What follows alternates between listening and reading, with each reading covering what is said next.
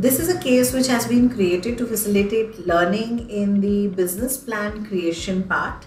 So it's a simulated case study and it's on a venture called Mentor App, which is a simulated venture. Uh, so let's have Niharika give us a little bit more detail about what this venture is all about. So Niharika, all yours. Could you tell us a little bit more about Mentor App? Uh, welcome everyone. I hope you've enjoyed reading the Mentor App case study. And uh, when we actually started creating this uh, simulation, it was uh, because we realized that uh, while all our cases are of real ventures and real companies, uh, which which are getting formed, which are actually on the ground, many of them were a little hesitant in sharing their financials and projections and their numbers with us, especially because all of this goes in the public domain. And that is why we went back to an idea that has been brewing in Wadhwani Foundation for time immemorial and has also taken, uh, you know, uh, shape and form, various shapes and forms now. So uh, what we did is we went back to that idea and we developed it for uh, like a for-profit venture and uh, and that's how mentor app came around. So let me take you through what mentor app is and what is the genesis of the idea for mentor app. Uh, would you mind if i share my screen arti that will be great niharika. Thank you so much. Sure. So mentor app started with a very simple idea and a very real problem that both entrepreneurs face at one side and mentors face on the other so entrepreneurs need mentors and mentors need entrepreneurs, right? Because mentors come from that place where they want to give back to the ecosystem, uh, which has actually propped them up and got them to the position where they are. And mentors obviously uh, and entrepreneurs rather obviously need mentors now there needs to be a matchmaking that needs to happen between these entrepreneurs and mentors so uh, mentor app is a AI powered Tinder like tool right? So you swipe left and you swipe right. And when when the match is there between the entrepreneur and the mentor you know that you met uh, then you know it's a match made in heaven. And uh, it basically connects uh, these two parties together and uh, wants to bring about you know the best of uh, the best of technology to do this matching. So there is a lot of AI powered uh, data uh, simu- uh, data crunching that happens at the back end so that we can do the best kind of matching and then there is a mutually beneficial interaction that transpires at the end of this at the end of these conversations that happen. So how does this happen? Like I said, it is it uses proprietary ML techniques uh, and deep minds the ecosystem. And uh, we want to do the perfect matching so that uh, uh, entrepreneurs set out what they need from this mentor conversation, and mentors also set out what are their core area of expertise and which are the kind of mentors they would like to mentor. And then uh, there is a, a, conversation that happens between them. This is a sub- subscription based platform, and uh, subscribers can, uh, it helps uh, both mentors and entrepreneurs subs- uh, monetize their interactions. Sounds very, very interesting. Um, this actually, I think you've covered my second question also, Niharika, in terms of why would you choose this problem to solve? You've explained that. However, would you like to give us a little bit more insight into that perhaps? Anything that sure, you have? absolutely. So, uh, if you look at the core issues that uh, startups have, you know, uh, the core issues are that they don't have access to mentors and experts. You know, there may be a particular problem that they are looking for, and they just they. So, it's not a one size fits all you know you want a mentor for something and you want b mentor for something and a c mentor for something but you want one mentor who can look at your business. So you you need different mentors at different points in time. And uh, entrepreneurs you know have they they have to rely organically on their network to actually find these mentors. And it's more a game of chance or luck. You, you may luck in or you may luck out also right?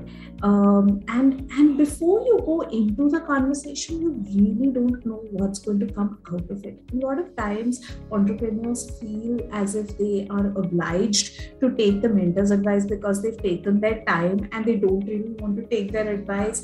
So you know there's a lot of um, th- there's no reliable information on how successful the mentor has been in these mentoring conversations and what has happened and what has transpired with those mentors so these are the problems from the startups perspective. From the mentor side, the issues that the mentors face are that these mentoring conversations are predominantly disorganized. You know, you uh, it really depends on when a entrepreneur comes up and asks you for their time, for your time, right? You don't, you cannot predict it. Also, uh, when a startup comes and asks for your time, uh, it's not just that you can start you know uh, giving advice from just from the moment go uh, a lot of mentors take time to understand the startup's business, the venture, and the problem very deeply. They do some other research as well and then give advice. Now, after putting in and investing so much time, energy, and effort, what happens is that if these entrepreneurs then just vanish into thin air, the mentors don't know if there has been any follow through on the advice that they have actually given to the entrepreneurs. And that really leaves them in the lurch and the high road. You know, they don't know what's happened. The third issue from the mentor's perspective is that while they're doing all of this, there's no uh, there's no platform where they can actually publicize the fact that they have uh, that they have come a certain path and have been uh, have uh, gained a certain proficiency in mentoring.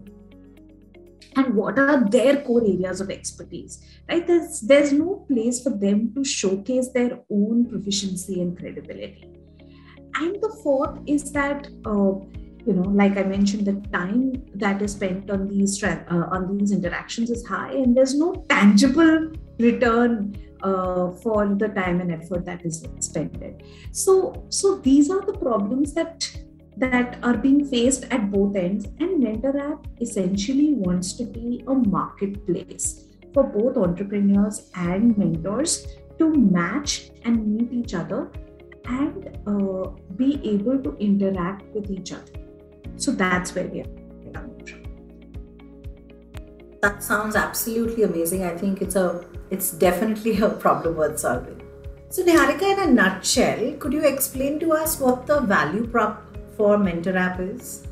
I'll uh, try and explain it with the help of analogies uh, and uh, you know how different uh, startups that have become unicorns in their own right. right. So when we were looking at Mentor App, we uh, wanted to make it in such a way that it has a Tinder like matching experience, right? Uh, it gives a Airbnb like rating experience and it gives a professional community like LinkedIn. So these were three important aspects that we were looking to meld and bind uh, when we were looking at mentor apps. So that's what we were looking at delivering to both the mentors and entrepreneurs. And if you like to look at what are the benefits that would accrue to them, then uh, Mentor app would be like a virtual watering hole between the entrepreneurs and mentors. Uh, we already talked about the AI ML. We already talked about the Tinder-like swiping. Uh, a couple of things uh, additional is that uh, uh, it'll provide a virtual community for entrepreneurs to share their highs and lows. It's like an it's like a forum that brings entrepreneurs together, like you know the, the feeling of a tribe, a feeling of belonging, all of that. Uh, entrepreneurs will also be able to rate their conversations on the mentors and see that you know uh, which uh, mentor actually gave me the right kind of advice. So there'll be like a five star rating on the uh, on the app. And therefore it for both the parties it's a great place for them to grow their networks. When we look at the mentors specifically uh, the uh, the mentor app wants uh, to graduate to a level where it provides a lot of material learning material for both the entrepreneurs and mentors right? Whatever what's happening new and uh, in, in in different spaces in different uh, industries and um, you know what's happening new in tech in different industries how what are the major disruptors. But specifically for mentors we are also looking to give them certain uh, certain developmental material because this is another untapped white space you know where we don't have uh, a clear structured mentor development uh, path. So that is what the, the app would also look to do. Uh, there would be systematic rewards and recognition. So, you know, there is a point where you can become a super mentor and you can then uh, begin mentoring other mentors as well. Uh, the reviews uh, and scores that they get is something that mentors can also showcase to uh, talk about or uh, to prove the efficacy of their mentoring conversations. They can keep connected with the startup to track their journey. So uh, these are, you know, a lot of uh, points that are that are points of friction for both the entrepreneur and the mentor when they are having these conversations, which the app tries to cater to uh, while while they are facilitating these conversations. It sounds an absolutely win-win situation. I think you've been able to get the best for both the mentors as well as the entrepreneurs. Sounds amazing, Niharika. Thank you. So the next is a million dollar question, Niharika, a question that every entrepreneur is looking at. Uh, while this is a brilliant value proposition, what really is your business model and how are you planning to make money out of this? Well, uh, the app is presently at a very nascent stage, and uh, therefore the business model is fairly simple presently. Right? We didn't want to make it very complicated because at the end of the day, uh, we want to take it to an MVP level and see how it really works. So the concept is very simple. Um, the, from the from the entrepreneur's perspective, the offering is of a mentor hour where there are one-on-one sessions which are purchased in advance by the entrepreneur and paid obviously by the by the entrepreneur. The standard size is a 10 hour pack and the price is 10k so if you really look at it it is very very economically priced because you're getting a mentor of your choice you are uh, and you can uh, and you can even stagger these conversations uh, over a period of three months six months you know whatever however you would like to stagger these conversations. Uh, and you're not getting just one mentor. You can actually have different mentors for different conversations. So, you know, you have like an a la carte menu of sorts, and you can choose a mentor for every conversation. So, uh, to a very large extent, I mean, it's almost as much as you would go for and have a drink in a pub and and uh, you know want to, to uh, have a conversation so that's the price point that we are really hitting at from the uh, mentor's perspective that we already spoke about that there's a structured pathway towards mentor development and to become you know a, a credible source of authority in this field uh, there is a small honorarium, we will not call it a return. It is a very small honorarium that the mentor would receive just so that it is not completely pro bono. Uh, and there is some skin in the game for the mentors as well. And that is the amount honorarium for time. So that's about 4K for those 10 conversations. Um, the app also uh, wants to launch additional revenue streams, for example, in app advertising, mentor event, uh, mentor connect events, and sponsorships and, and stuff like that. So Niharika, this really sounds good. I think you've you've really thought about a lot of things while putting this together. Uh, a business model, a business plan is, I'm sure you'll agree, quite a complicated process. It's also a very iterative process. You just don't do it once, right? And uh, there are lots of moving pieces when you put your business plan together. So uh, would you want to tell us a little bit more about how did you actually go about this? What were some of the starting you know what starting point did you look at? And perhaps that's be that'll be interesting for our budding entrepreneurs as well. Sure. And I and I quite empathize with all the entrepreneurs who may be listening into this fireside chat. You know, uh, what, the biggest question is how do I start? Where do I start? You know, and especially for those of you who don't come from a finance background, we hear you. It is difficult. right? So I, I think a good point to start is uh, to start with the numbers that you want to achieve. Let's say at the fir- at the end of the first year, right?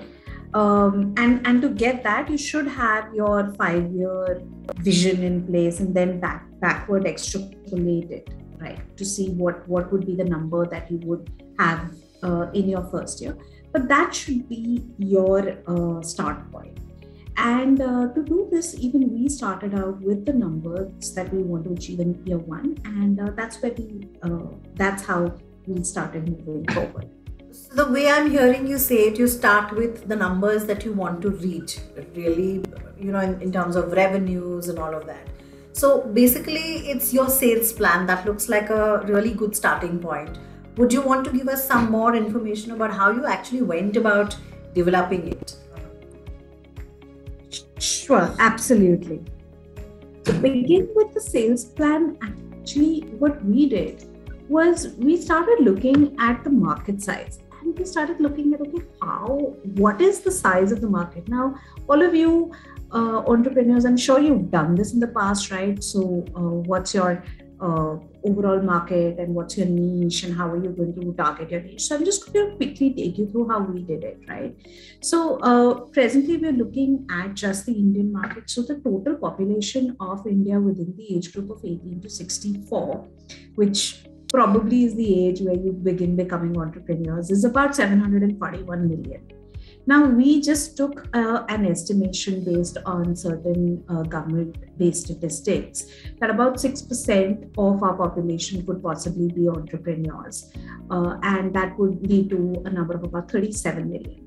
And uh, let's say about 15% of these entrepreneurs would be willing to uh, consider using an app to, uh, to meet their mentors, right? Because mostly you know entrepreneurs could be uh, uh, people who are even you know trying to set up a small shop uh, uh, in their uh, in that in their town. So we're not talking about those kind of entrepreneurs who may be trying to set up a like a self-employed entrepreneur, but mostly somebody who's actually looking to scale it up and make it a business as you go forward. So so these were the the big numbers that we started out with. And on the other hand we also needed to see that you know do we have a supply side problem? Do we have the mentors to uh, to actually cater to all these entrepreneurs. We didn't want to be in a situation where we have so many entrepreneurs and we have a dearth of uh, uh, mentors. So we said, okay, uh, which is that one place where mentors would be available? And obviously, we realized that LinkedIn is one you know uh, already ready resource of uh, of highly highly valued professionals. So that's about 62 million professionals on LinkedIn. And let's say 1% of these could possibly become mentors and can actually uh, get invitations to register on the app as a mentor. So these were the starting numbers that we uh, that we you know got our head around. Okay, so these, so that's the overall pie that we are looking at even now you can see that there's an obvious mismatch you know that the number of mentors are much lesser than the number of entrepreneurs. So therefore that white space that you see between the need of the entrepreneur and the availability of mentors is quite uh, uh, is quite visible which is why that mentor development path is something that is going to gain a lot of importance as we go forward now, from, from this starting point, we looked at both the top down and the bottom up approach to our market size estimation. So, if we say that uh, from the entrepreneur side, and right now we're looking at the entrepreneurs here. So, uh, let's say you know we've got about 6 million and uh, just using the top down approach 60% of that could be our addressable market which would be and this is just mathematics here right? 4.2 million and 10% could be our obtainable market so about 4 million 4 lakh entrepreneurs. Which sounds very good but then you know we realize that we need to even do a bottom up approach and see how much of that obtainable market is actually going to be obtainable in year one. So when we looked at the uh, bottom up approach, we saw that you know we are presently on several entrepreneur networks. Uh, for example, the TiE network, the Wadhwani network, the Entrepreneur Forum, etc. And uh, this would give us ready access to about 10,000 entrepreneurs, right? And these entrepreneurs are ones that are really looking for mentors because that's why they are on these networks. And hence, we have used a higher factor for uh, converting our serviceable addressable market from SAM to SOM, we have taken it at about 40% here because these are entrepreneurs who are actually in these pubs and watering holes looking for mentors. So that's why we've got our serviceable obtainable market at about 4K for year one. Sounds it sounds like a really, really meticulous exercise, Niharika. Thanks for that. And I hope our uh, entrepreneurs have been able to take a lot of value out of this as well. So that gives me, you know, leeway to move on to our next question. And that's really in terms of getting to your customers, right? So what's your plan in terms of your customer acquisition strategy? How are you planning to meet those numbers? What's your plan on a, you know, month on month basis? Uh, let's just take it for the first year for now and then, you know, perhaps we look at meeting you once again uh, next year to see how you're doing. Absolutely. Okay, so let's look at the customer acquisition funnel, right? Uh, before we get into the numbers, so this is how a typical customer acquisition funnel looks like, right? The target market leads, prospects, customers. Now you can start from the top or you can start from the bottom. So uh, essentially, we we know that our target is about 4K entrepreneurs in year one, right? That's that's our target the top of the funnel that uh, the the bottom of the funnel rather you know we need the 4k customers. So we started small. So what we did is we started putting together uh, how we will achieve these 4k customers. And if you see it's a very you know you start really small. So 50 and 75 and 100 are the numbers that we have for jan feb march. And then we pick up traction as we move forward. So by the time we reach december it's about 700 entrepreneurs right? So the total is comes to about 3800 which is close to the 4k number that we talked about right? Now we then started saying okay if this is what we need to achieve then how many prospects do we need? So we applied a multiple of 10 here uh, that you know if we have 500 entrepreneurs then about uh, 10 of them would convert.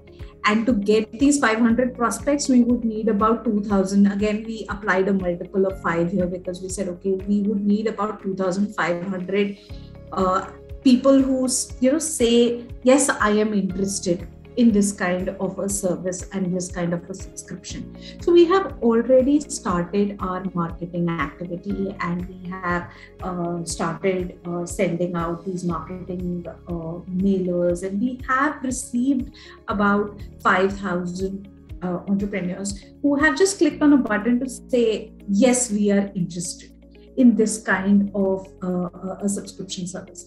Now we are following up with more and more information, giving them a couple of conversations free so that they can actually experience it and then begin making the payment for the subscription. On the mentor side as well, we have already uh, got a pool of about 500 mentors who are ready to go, who are or who have actually subscribed on the app. So there is a lot of groundwork that has already happened. Now, uh, so so this is the customer acquisition funnel. Now, if I take you through the sales forecast, right, in terms of numbers, these are the numbers that we are looking to achieve. So in the year one, we are looking to achieve about 3.8 uh, crores uh. In in terms of our actual sales right and you can see how so for a number of about 50 customers we are uh, basically multiplying it by 10,000 to get the number for January and February and so on.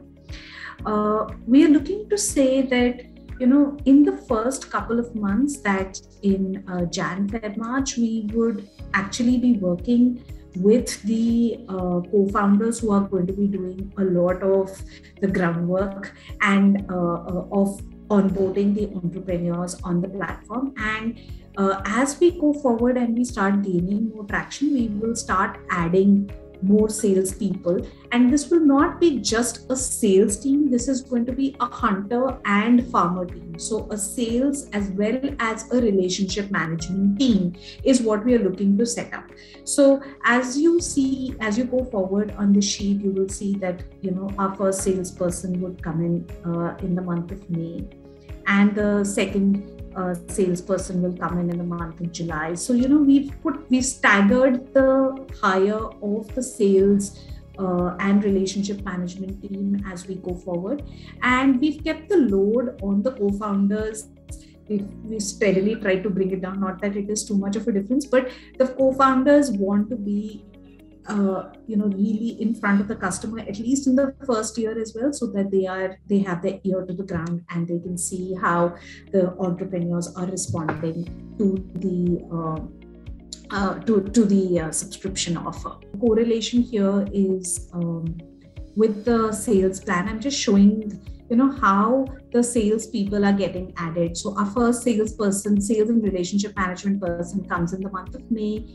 Then we have another one that comes in the month of July, and then we have two new that come in the month of September, and then the last one that will come in the month of November. So that's how we've staggered the uh, sales and relationship management team, and that's essentially our sales and people plan. So, Niharika, thank you so much. I think that's given us a very, very good idea about how you're planning, uh, you know, your startup's trajectory for the next one year in terms of your sales, the number of people that you will have on street, your feet on street, all of that. Another very interesting aspect for most startups is how do they do their entire financial planning? Uh, would you throw some more light on how you've done that for your organization? Absolutely. So, uh, again, when you see something like a financial most financial plans that are available uh, on the internet also you know they are uh, they go into a lot of details. So you know the typical financial plan will have a few statements. It will have a startup cost. You need to figure out your p&l your balance sheet your break even cogs you know all of these things. And it can become pretty daunting for entrepreneurs. So uh, our uh, endeavor in this conversation is to see how we can simplify it and uh, fill it up in the uh, uh, in in a manner which is both logical as well as realistic at the same time. So let me try and show you how uh, we've done it for Mentor app. One of the best places to start is putting up your startup costs. Now, what are startup costs? Startup costs are those costs that you incur before you even start your business, right? And in other words, these are also called sunk costs, right? So, uh, startup costs in this case we've taken about uh, 15000 for business registration. We've taken some product development costs. The app is uh, presently uh, at an mvp stage and it requires a little more uh, uh, em- embellishment so that it can become uh, a full-blown product. The website requires a lot of work and we need to figure that out we uh, also need to uh, look at uh, purchasing computer systems for all those who are coming into the sales and uh, uh, marketing team.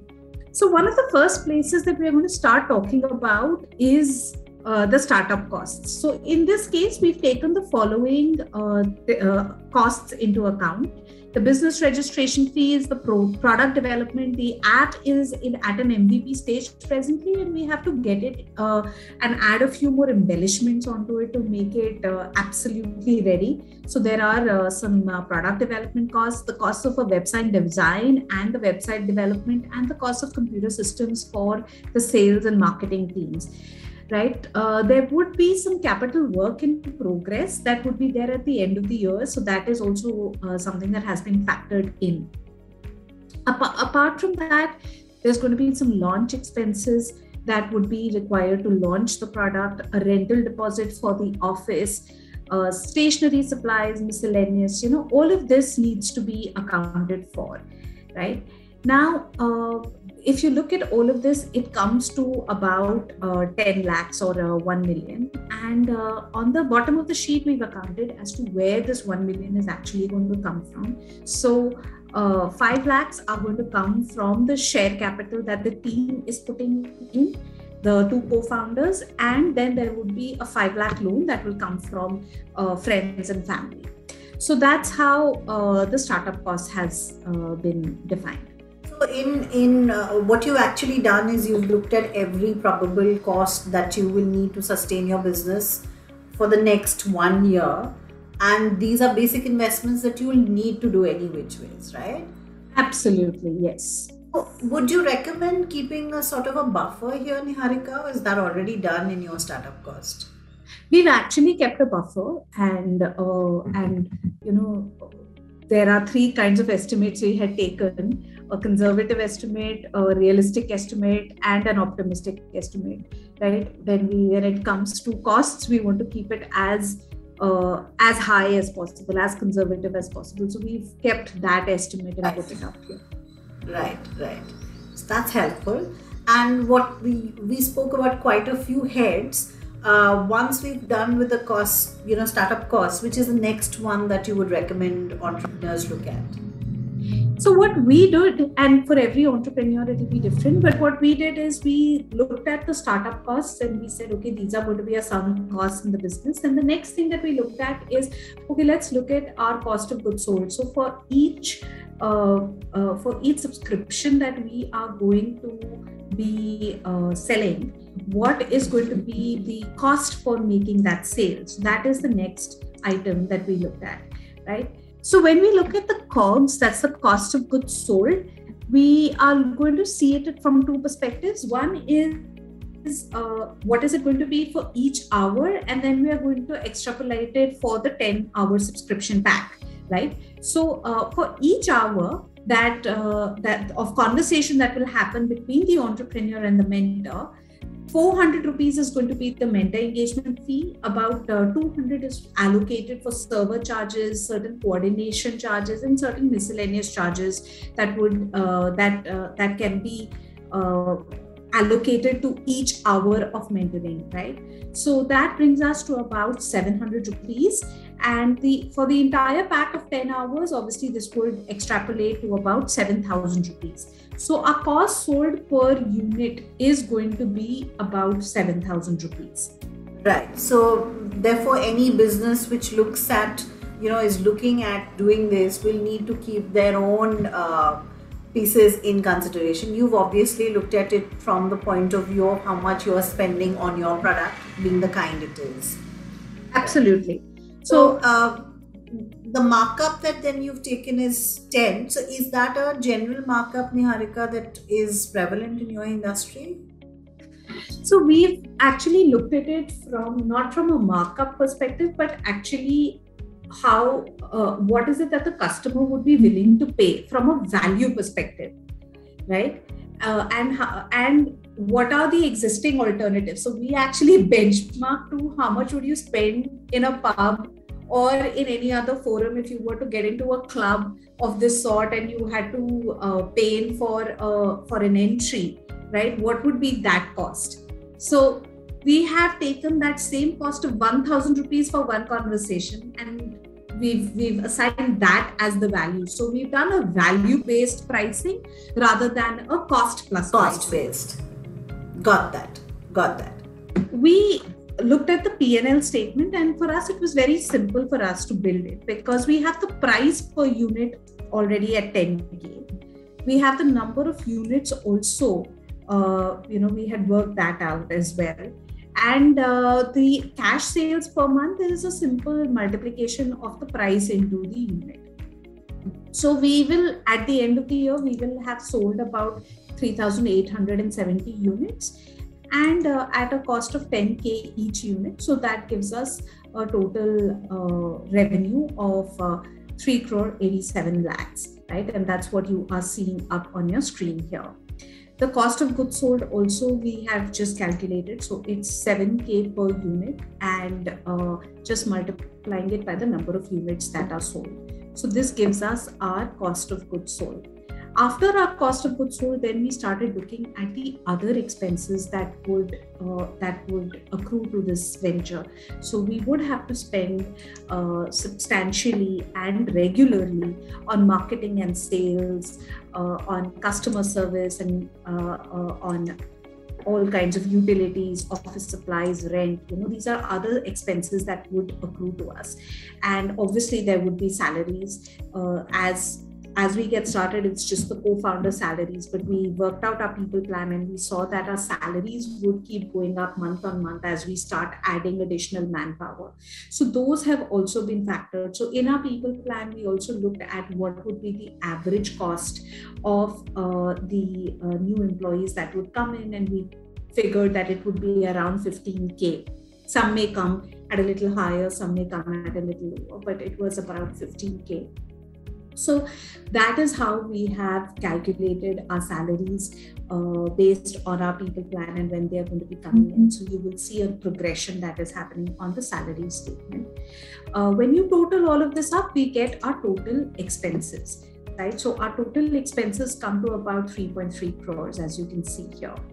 Now, from here, uh, two important numbers get populated uh, one is the gross profit and the second is the net profit margin.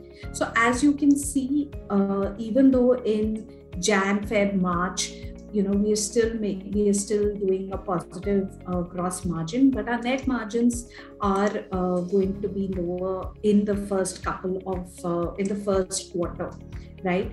But as the number of units sold start increasing the economies of scale come into play. And uh, that's how you know we we will possibly have a, uh, an average net profit margin in the next year of about 15% uh, that's what we uh, that's what we are aiming for in year one this is very comprehensive and we can see the various components that you built out earlier your sales plan, your people plan, all that really coming into play over here, and you have a complete comprehensive structure. Um, typically, how much time does it take for a startup, or how much time did you take, for example, to build all these pieces out behind? So, actually, it's like a Lego or a Jenga block, right? So, if your basics are clear, putting together your PNL or your income statement is actually very simple. You need to do the thinking before you come and start populating these numbers, right? So, if you know what is going to be your COGS, what is going to be your uh, you know the number of units you want to sell and then you know you create like a base and then you can keep playing with these numbers. So you know finalizing these numbers may take time because you may want to play with it and see what you want to present to investors versus what you want to keep for internal consumption and pur- other purposes. But uh, if your basics and if you've got your building blocks in place putting this together the pnl and the balance sheet just does not take more than maybe maybe an hour's time. But the the the homework before that needs to be done Right, right. And I guess that's where a lot of your time must have gone in. So Absolutely. we've got these pieces in. What's the next piece that you concentrated on? So a typical progression from the PNL account uh, is the balance sheet, right? And uh, the balance sheet actually gets uh, in most templates it gets auto populated, and I'm glad you know even this template gave us this, this opportunity. Uh, so uh, we've got our cash in hand, which uh, actually uh, flows in from our cash flow statement, right? It gets auto populated from there. We've got our fixed assets, which are right. Uh, which which we've already created, right? Uh, those were our computers and other workstations. Uh, so and there are some intangible assets that we've also created because we've you know we've created our website and we've created uh, our app. You know these are not tangible uh, assets per se. So there is a value. Right now it's just a cost value that has been attached to it. It's just been whatever was the price or the cost. So if you see this number it is exactly the same number that we've yeah for our startup cost. So it's exactly the same number that we've attached here. So we've kept it very simple for now because you know this is a distribution of heads at the end of the day. So uh, so so that's how our uh, balance sheet uh, is created. And when it comes to the current liabilities also uh, you know we we may have some accounts payable or we may have some interest. Interest will not be there in our case because uh, we got uh, a loan free an interest free loan from friends and family. But but essentially we've kept it you know clean over here. And we've kept the loans that we've taken from friends and family that comes up. Right. Yeah uh, if there was an in- interest component you would have had to add that amount as Absolutely. well right now it's not there. So that's that's great. Yeah. I must say and you have the, some really nice friends and family. And uh, the reserves and surplus is uh, another number that comes directly from the forecast PNL. So this is basically our net profits, right? And th- this is the reserves and surplus that comes directly on this side.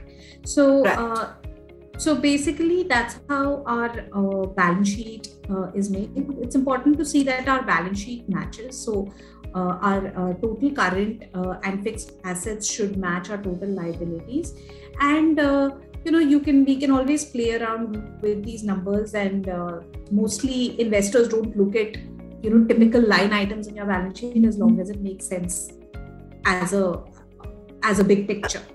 Yeah the overall picture should should make sense i guess. And i think those numbers are talking for themselves. And once you start i'm sure you'll start looking at seeing where you are in terms of your target versus achievement and you know then those numbers change themselves. Right, right. absolutely. This has been really interesting. So what's the next piece then the next piece that we will get into is the cash flow statement. And for us as is with any other venture the cash flow statement is extremely important because we need to kind of see we, we need to make some uh, uh, investments in our uh, computers and other systems. And we need to ensure that and we also have to pay our salaries because we are ramping up the team. So we need to ensure that we are not going to be cash negative at any point in time. So from that perspective, it's important for us to look at our cash flow statement. So the starting cash position actually comes from uh, the uh, you know the, the it's it's a very simple calculation you know whatever money we started in you know our uh, paid up capital and the loans that we've taken minus the entire uh, outgo of the startup cost so that is our um, starting cash position so from there you know we start looking at what are our sales what is our cost of goods sold and our operating expenses and uh, that gives us what is happening on a monthly basis to our cash flow. We are also looking at some new assets that are going to be purchased. So may July, September, and November is when we are looking at uh, a few assets to be purchased. But despite that, we will be in a very decent cash position uh, in the organization that's very clear and i can see that you are increasing. And it ties up beautifully with the earlier plan that you showed us. Uh, i guess it's very important for any startup to look at this piece especially you can't afford to be cash strapped and plan absolutely. that out well. Yeah. Absolutely. That's the conundrum that most startups fall yes. into because you don't have uh, so every startup, you know, while they're looking at all of these pieces, I think the first thing that most entrepreneurs know it's okay we're going to invest a certain amount of money and only then we see start seeing some amount of returns.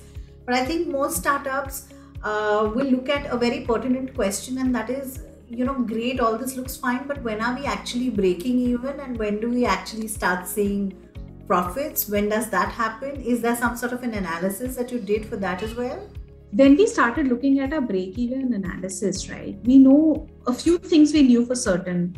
What are our what is our average selling price? That is about 10000 our cost is about 7000 these are you know the knowns. Uh, our fixed cost also we realized is uh, something that we cannot really change uh, too much. We can't play around with it too much, right? We wanted to keep it uh, conservatively on the higher side. So we know that our fixed costs are at about uh, 33 lakhs uh, for, for the entire year.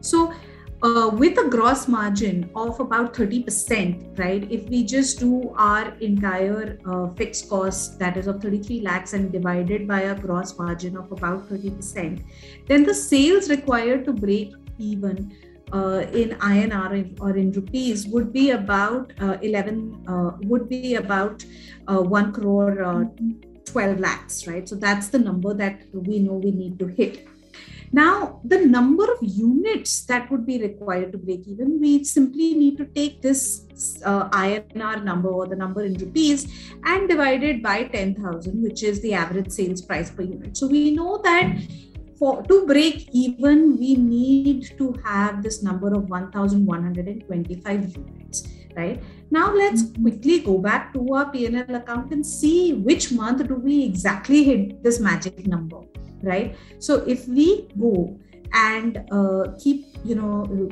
you know see the scroll bar uh, on the bottom of the screen so you'll see that in the month of july is when we are actually hitting this break even point of 11, uh, 1125 units. So July is when we will break even, and after July, whatever money we are actually making is going to go into is, is basically because of the economies of scale that are kicking in, and that's going to go into our coffers and will help to uh, generate the next uh, round of revenue and growth for us. So, Niharika, all the best. I hope that the uh, conservative figures that you've taken for your fixed costs is actually going to help and you're able to control that. And in that case, perhaps your break even happens, you know, perhaps earlier than July. Hopefully. Hopefully. all right. All right. So, uh, Niharika, now, I'm sure now as a business person, right, you have to keep on top of your your game. You need to watch out for certain signals to see whether your plan is actually uh, really succeeding. Are you know is it is it really working out? What were your targets? What are your actuals? What are some key factors that you should be watching out for? So have you been able to define that for your business? Mm-hmm. And if yes, could you tell us what they are and what was your thought process while you defined those key matrices for you? Sure. So uh, a couple of key metrics is actually we've even we've spoken about earlier as well so we've already talked about a gross profit and net profit right so that is something that we're going to be watching very very keenly uh, and uh, those are numbers so this is the projected uh, pnl but we are going to be actually looking at this on a monthly basis to see where we are uh, on this 30% gross profit and how we are doing on our net profit numbers. Um, apart from that, a few other key metrics that we are going to be looking at very closely are the LTV or CLV, the CAC, and the comparison between the LTV CAV as well, CAC as well. So, the way that we've calculated our uh, customer lifetime value uh, is, you know, we've said that the, let's assume very, very conservatively that every customer just comes to us once and our retention period you know is just that one year. Let's i mean let's just assume that. So then in that case our customer lifetime value is just 10000 right? And we know that this will not be the case that that entrepreneurs will possibly there will be uh, repeats uh, of these entrepreneurs coming in. And hopefully what we are hoping for is that these entrepreneurs actually after a period of time begin feeding into our mentor pool right? Right right. So that's the uh, that's the vision as we go forward. But for now we will see say that our customer lifetime value is let's say just going to be about 10000 rupees now let's look at how we look at uh, uh, coming at the customer acquisition cost right, right. so customer acquisition cost is uh, you know we've we've uh, kept it at about um, 14 lakh 64,000 and this number comes again from our forecast PNL right? So if you look at these two numbers which is the cost of marketing and promotion and digital marketing and customer services so this is the cost that we are saying is our customer acquisition cost. So it's about 14 lakh 64000 and that's the number that we have taken uh, to calculate our CAC right?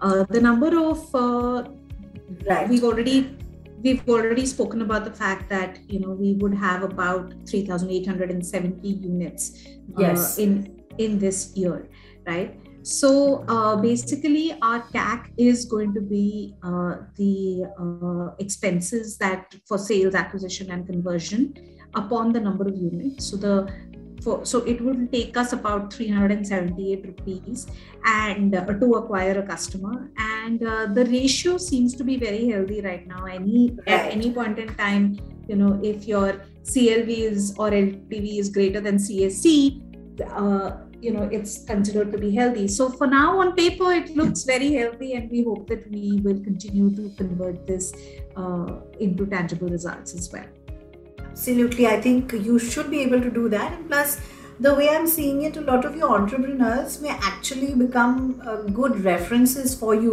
which could further, perhaps in the long run, reduce your uh, CAC even more. Word of mouth, etc., will work. Yeah. Absolutely. Then we we hope that your numbers become higher. But this has been really, really interesting, uh, Niharika. Any other insights that you would like to share with us? I know the financial planning has lots of components and you've been very patient. You've taken us through the entire piece of your organization. However, any any more tips, anything else that you would like to share with uh, our viewers on this? I think uh, what we need to remember is that at any point in time, uh, this is an extremely iterative process. So don't keep this sheet away into cold storage. In fact, keep it in front of you and keep looking at it on a daily basis. Identify four or five key indicators that you are going to track say on uh, uh, on a monthly basis to see where you are. And uh, and keep these as you know as your markers. And as soon as you stop falling short uh, uh, as soon as you start falling short on one uh, you know try and analyze where is it that what is that needle mover that is bringing that parameter down for you. And and keep a hawk's eye on that so that's that's my only advice. And hopefully you know our uh, projections that we put together also um, you know find when the rubber meets the road we'll be able to see how they turn out. Absolutely. Thank you so much. This has been really really informative. I'm sure that uh, all our entrepreneurs are going to enjoy this piece and also take away a huge amount of learning from this. Thank you so thank much. you very much. Thank you